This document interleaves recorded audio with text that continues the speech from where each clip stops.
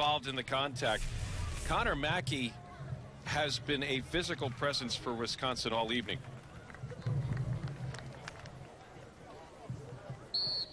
Austin Maloney stands over the bar and the ball, and it's good night, Badgers. Penn State wins it in overtime.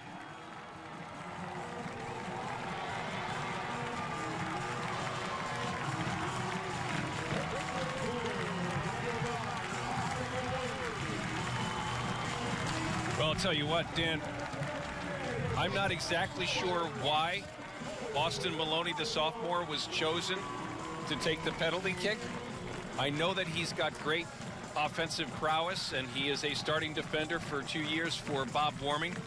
But for my money, Austin Maloney is the player of the game before he takes the penalty kick because of what he offered in tonight's match. Great poise over the ball. Schilling picks a corner, and Maloney stays committed to the central part of the goal. So perhaps the player of the game